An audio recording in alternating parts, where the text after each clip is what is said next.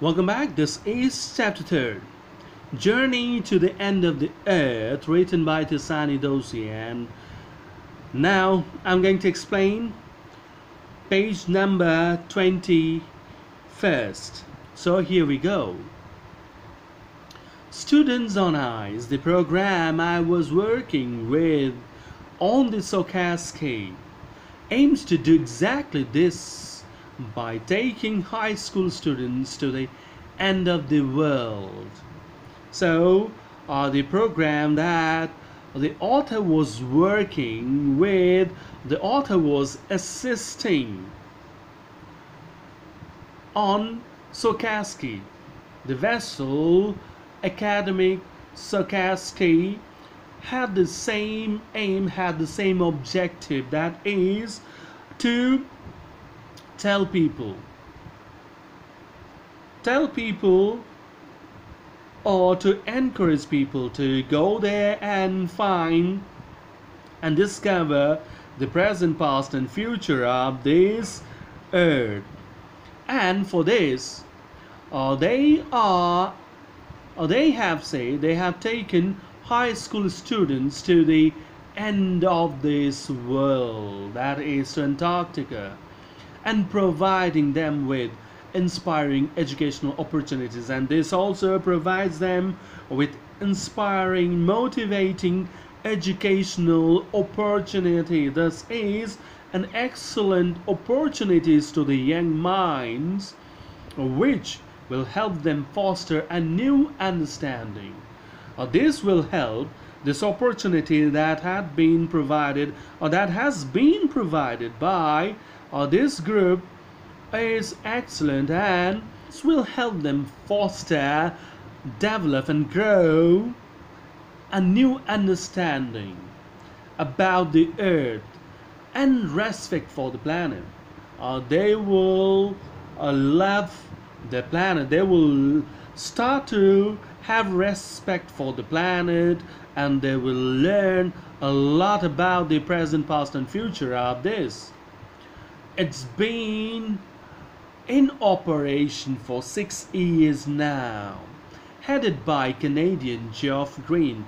This program was launched uh, six years back and was headed by and has been, say, has been headed by Canadian Geoff Green, who got tired of courting celebrities and retired rich curiosity seekers who could only give back in limited ways.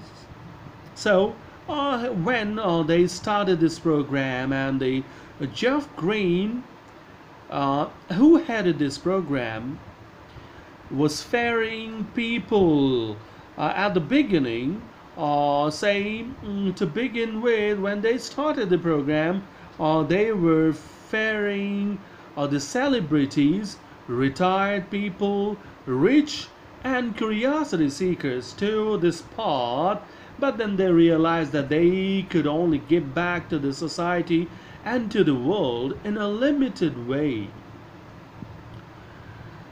With students on ice, he offers the future generation of policymakers a life-changing experience at the at an age when they are ready to absorb, learn, and most importantly act.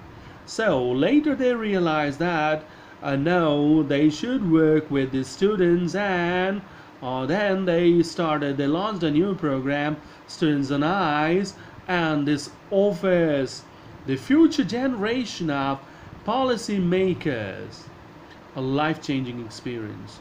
This is a life-changing experience for the future policymakers who would be forming new policies for this earth and they only can change uh, this mm, the way we have been behaving the way uh, we have been uh, we have been torturing this earth uh, because they're at this age they're ready to absorb the things the way they are explained or the things that they learn and most importantly they are here at this age are ready to act.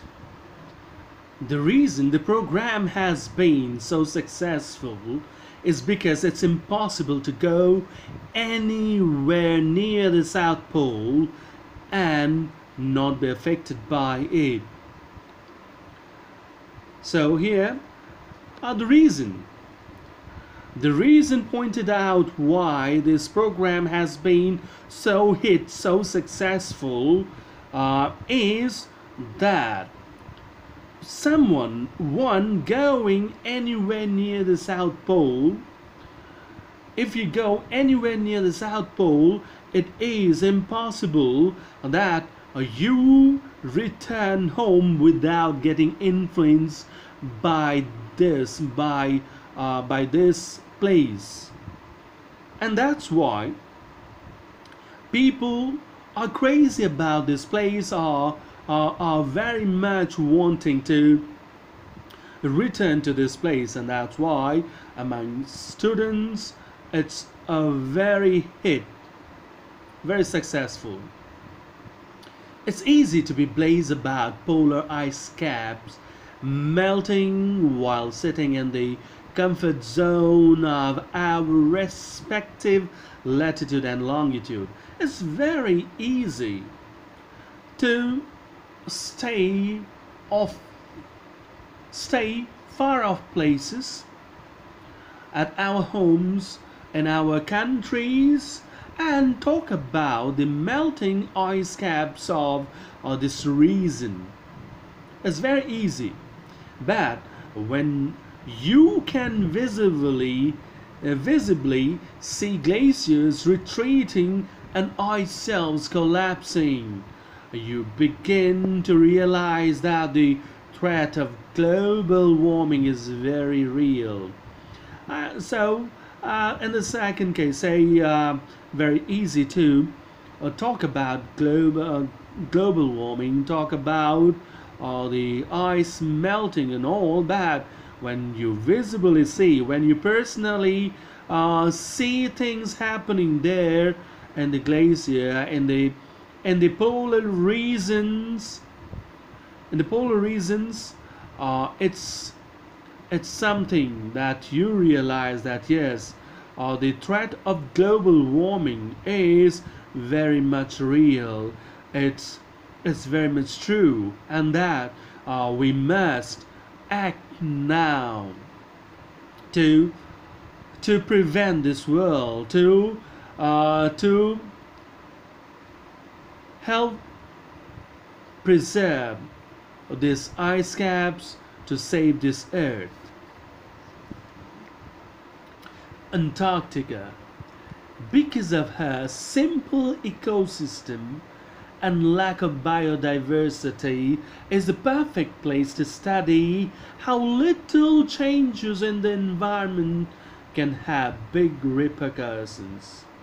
So, uh, the author feels that uh, this is the best place, Antarctica is the best place to conduct any kind of study to know how a little change can have a big impact on the on the ecosystem on the environment because this place is simple this is not having uh, biodiversity. This is not having uh, a variety of flora and fauna. So it's very easy to understand the changes that take place.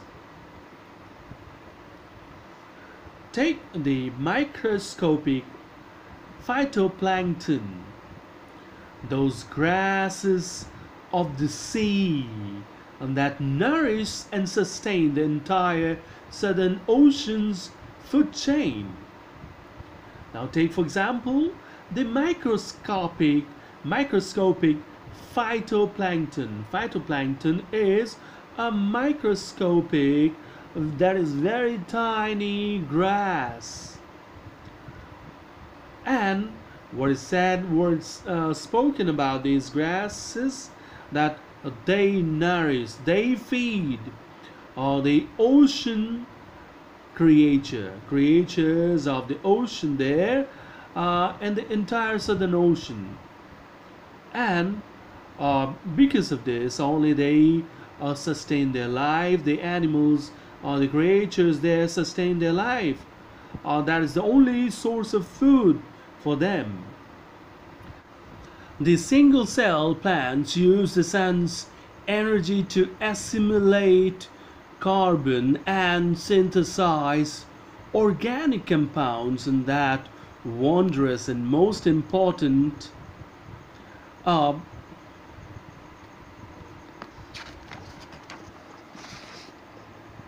process called in photosynthesis.